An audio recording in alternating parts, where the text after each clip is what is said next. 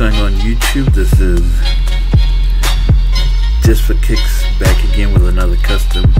Today we're going to be doing a simple bandana print on the pair Air Force One where I'll be putting the bandana print on the swoosh, the back, and the swoosh here. So the colors I'm going to be using today is uh, chili red, flat white, black. So those are the three main colors. Uh, other stuff I'll be using is uh, masking tape, X-Acto knife,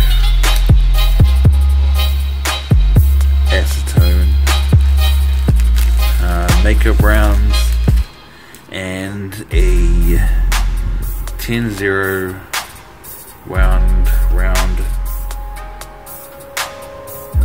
yeah a 10-0 round paintbrush to to paint my designs. Also, we're going to give the, the shoe a bit of a clean as well to make sure it's all nice and tidy. So I'm going to be using uh, this waterless foam cleaner sent to me by the uh, local company Sneak Laundry. So I'm going to give that a clean. So the steps we're going to be doing is removing the laces, cleaning the shoe, masking the area, uh, covering all this in red. I'm going to be using the airbrush. It's just going to be a a faster process. Once that is done, then I'm going to start doing my random designs with the white, uh, a couple of layers, and go with the black.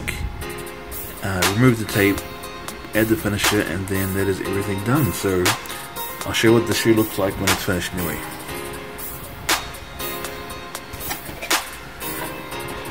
So that's it there. So that's the end product that we're going for. As you can see, all hand painted except for the red. The red was airbrushed on just to speed up the process anyway. So, before and after.